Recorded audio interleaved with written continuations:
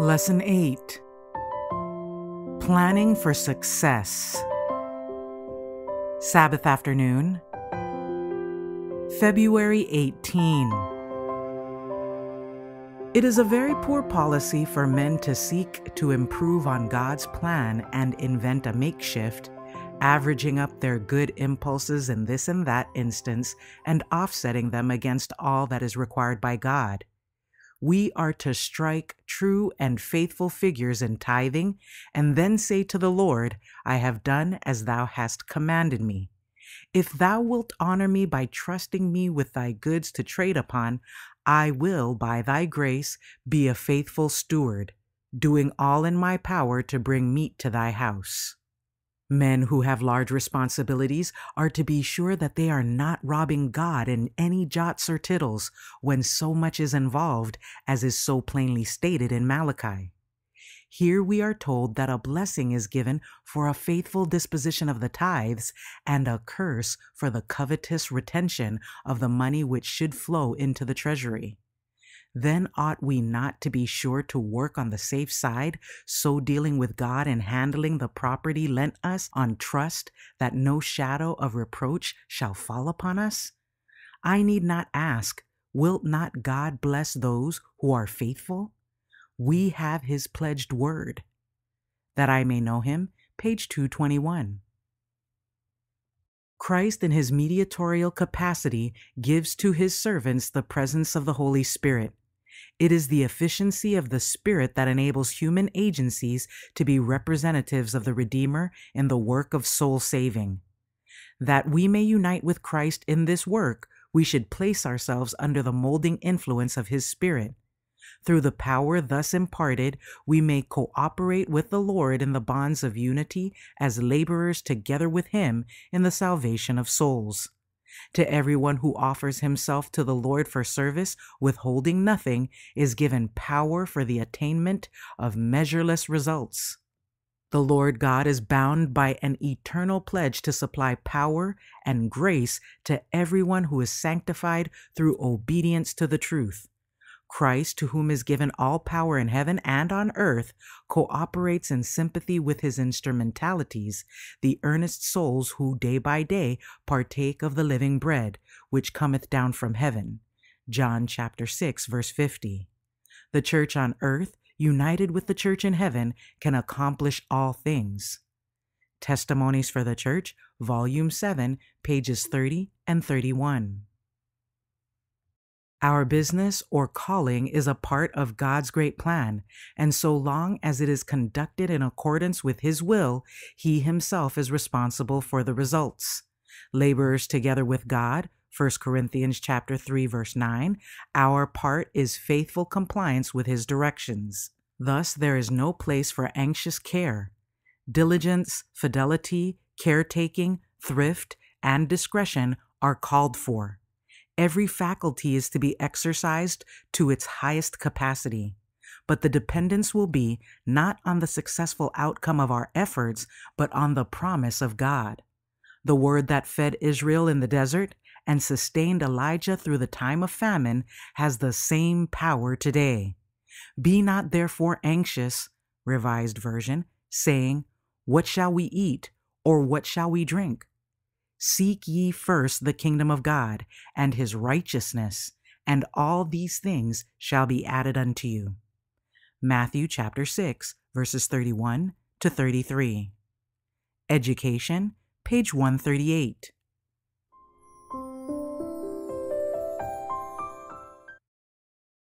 Sunday, February 19. First things first. Remember now thy Creator in the days of thy youth. Jesus desires the service of the youth. He wants them to be heirs of immortality. They may grow up into noble manhood and womanhood, notwithstanding the moral pollution that abounds, that corrupts so many of the youth at an early age. They may be free in Christ, the children of light, not of darkness. God calls upon every young man and young woman to renounce every evil habit, to be diligent in business, fervent in spirit, serving the Lord, that by the power of his Spirit he will give them strength to overcome. Individual, constant, united efforts will be rewarded by success. Those who desire to do a great deal of good in our world must be willing to do it in God's way by doing little things.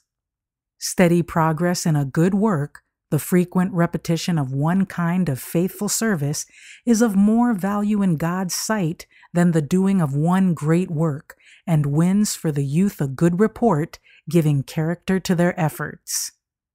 Messages to Young People, page 369. He who gives men power to get wealth has with the gift bound up an obligation. Of all that we acquire, he claims a specified portion. The tithe is the Lord's.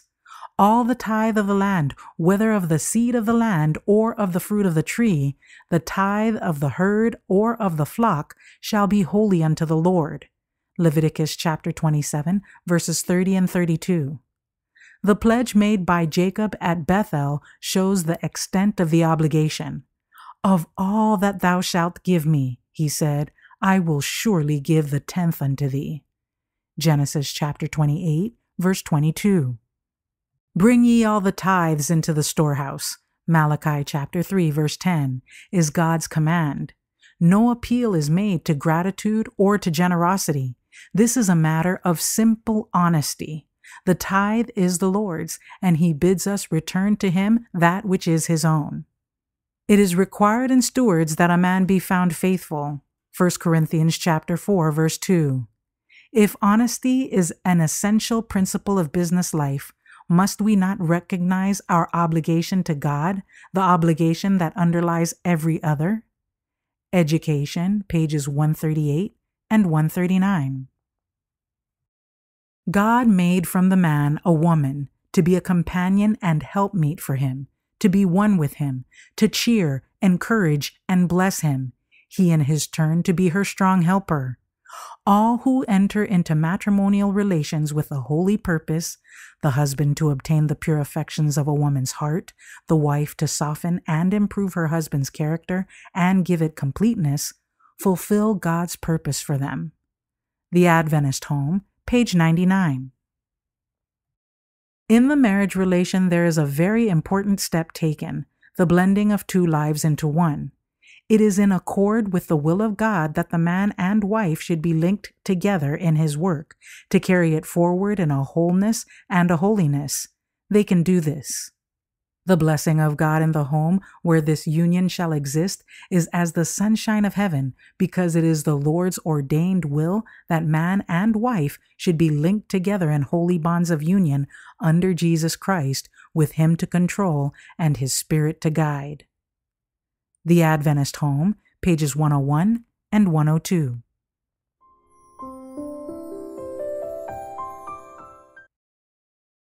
Monday, February 20.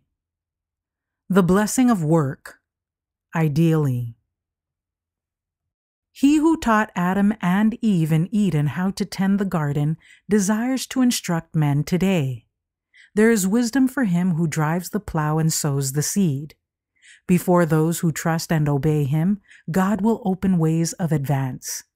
Let them move forward courageously, trusting in Him to supply their needs according to the riches of His goodness.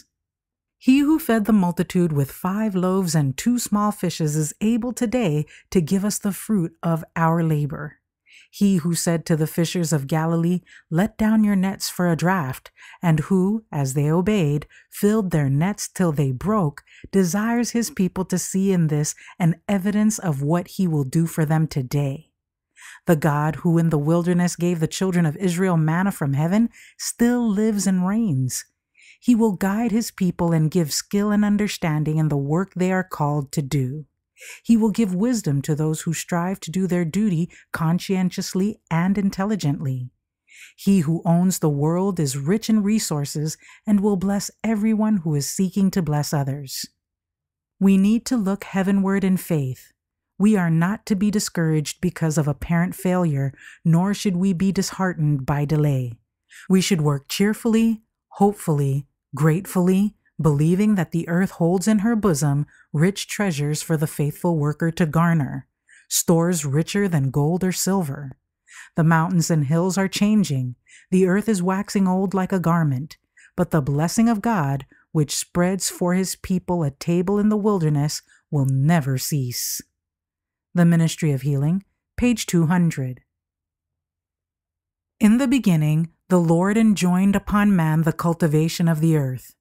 This work was made much harder because of the transgression of the law of God. By transgressing, man worked against his own present and eternal good. The earth was cursed because through disobedience, man gave Satan opportunity to sow in the human heart the seeds of evil. The ground that in the beginning produced only good began to produce tares, and their growth called for continual warfare. This Day with God, page 12. The name servant applies to every man, for we are all servants, and it will be well for us to see what mold we are taking on.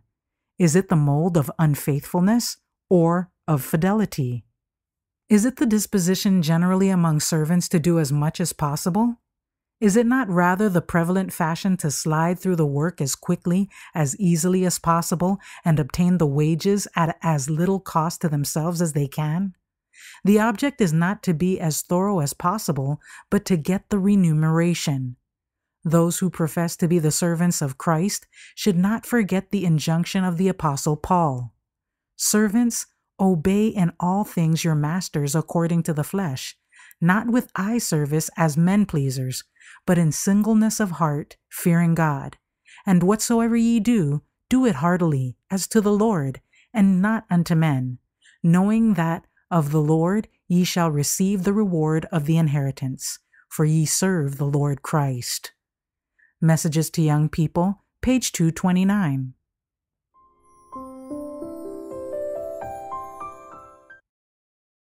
Tuesday, February 21. The Earning Years. How many a man might have escaped financial failure and ruin by heeding the warnings so often repeated and emphasized in the Scriptures?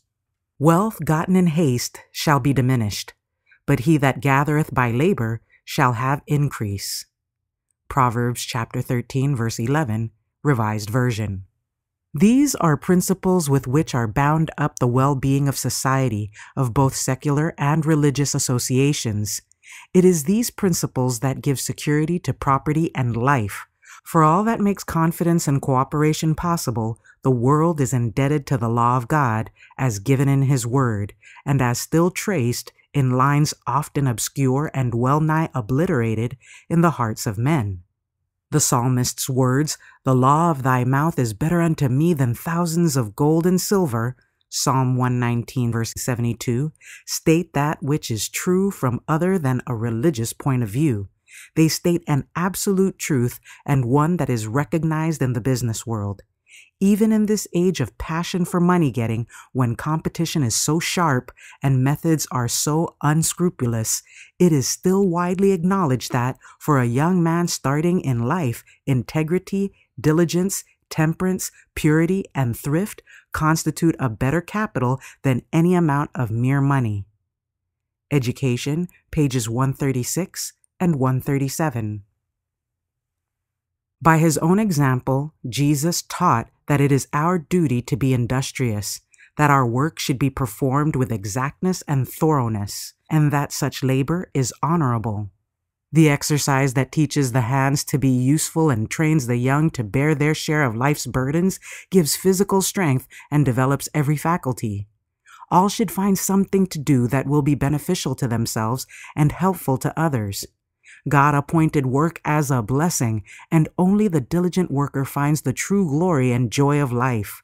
The approval of God rests with loving assurance upon children and youth who cheerfully take their part in the duties of the household, sharing the burdens of father and mother. Such children will go out from the home to be useful members of society. Throughout his life on earth, Jesus was an earnest and constant worker. He expected much, therefore he attempted much. Jesus did not shirk care and responsibility. The positiveness and energy, the solidity and strength of character manifested in Christ are to be developed in us through the same discipline that he endured, and the grace that he received is for us. The Desire of Ages, pages 72 and 73. There is science in the humblest kind of work, and if all would thus regard it, they would see nobility in labor. Heart and soul are to be put into work of any kind. Then there is cheerfulness and efficiency. In agriculture or mechanical occupations, men may give evidence to God that they appreciate His gift in the physical powers and the mental faculties as well. Let the educated ability be employed devising improved methods of work. This is just what the Lord wants. There is honor in any class of work that is essential to be done. Let the law of God be made the standard of action, and it ennobles and sanctifies all labor. Faithfulness in the discharge of every duty makes the work noble and reveals a character that God can approve. Ellen G. White comments in the SDA Bible Commentary, Volume 5, page 1112.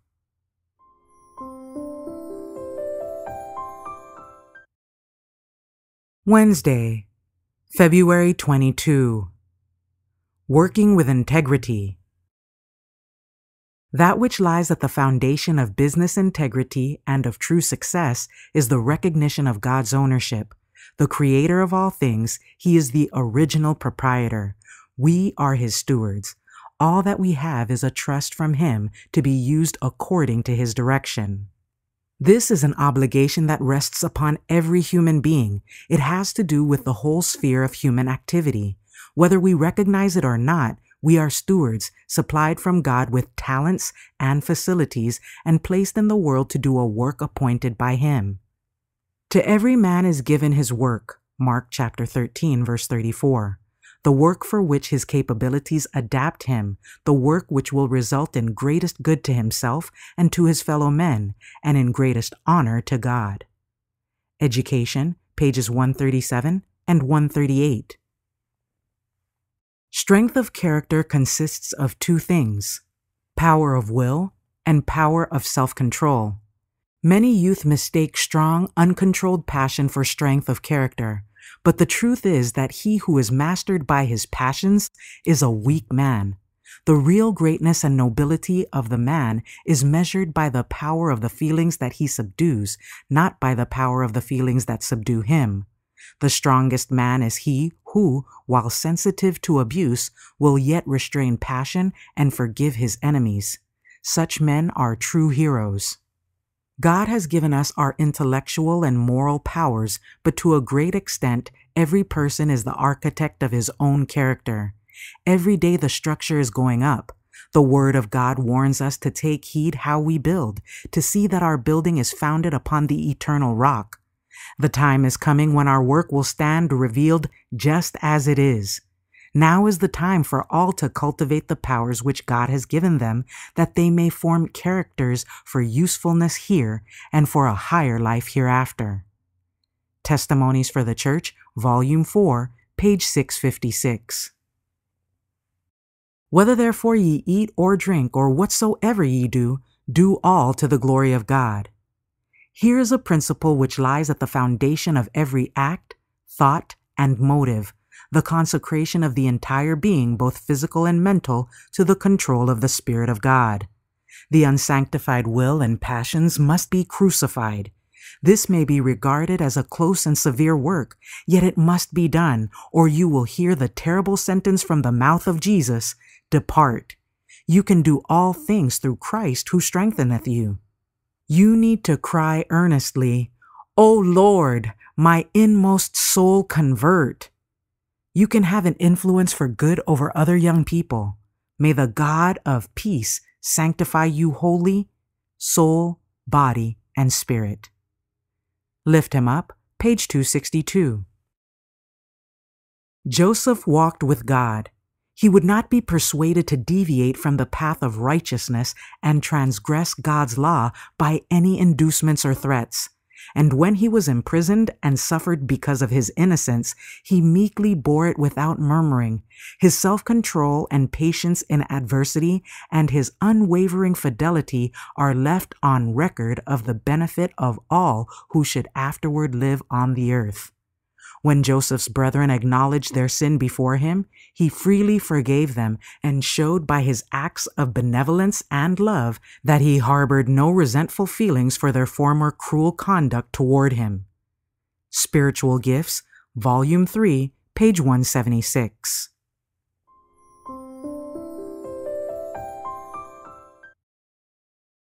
Thursday, February 23. Seeking Godly Counsel. As the Lord sees fit, He imparts to those who keep His way power that enables them to exert a strong influence for good. On God they are dependent, and to Him they must give an account of the way in which they use the talents He has entrusted to them. They are to realize that they are God's stewards and are to seek to magnify His name. Those whose affections are set on God will succeed. They will lose sight of self in Christ, and worldly attractions will have no power to allure them from their allegiance. They will realize that outward display does not give strength. It is not ostentation, outward show, that gives a correct representation of the work that we, as God's chosen people, are to do. Those who are connected with our sanitarium work should be adorned with the grace of Christ. This will give them the greatest influence for good. Testimonies for the Church, Volume 7, page 90. The wisest of men may learn useful lessons from the ways and habits of the little creatures of the earth. The industrious bee gives to men of intelligence an example that they would do well to imitate. These insects observe perfect order, and no idler is allowed in the hive. They execute their appointed work with an intelligence and activity that are beyond our comprehension. The ants, which we consider as only pests to be crushed under our feet, are in many respects superior to man, for he does not as wisely improve the gifts of God. The wise man calls our attention to the small things of the earth. Go to the ant, thou sluggard, consider her ways and be wise, which having no guide, overseer, or ruler, provideth her meat in the summer and gathereth her food in the harvest. The ants are a people not strong, yet they prepare their meat in the summer. We may learn from these little teachers a lesson of faithfulness. Should we improve with the same diligence the faculties which an all wise Creator has bestowed upon us, how greatly would our capacities for usefulness be increased? God's eye is upon the smallest of his creatures. Does he not then regard man formed in his image and require of him corresponding returns for all the advantages he has given him? Testimonies for the Church, Volume 4, page 455. Jesus has been delivering his goods to his servants age after age. One generation after another has been gathering up the hereditary trust. The talents have increased largely by use and have descended to us. We are as his hired servants. He has brought us, paid the ransom money in his own blood to secure our willing service. All he asks is just to use the talents entrusted.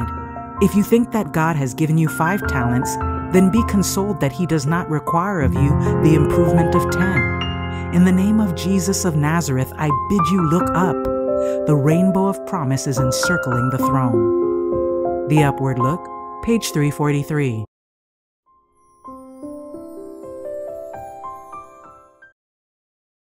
For further reading, In Heavenly Places, The Gold of Christian Character, page 173, and My Life Today, He Multiplies My Talents, page 113.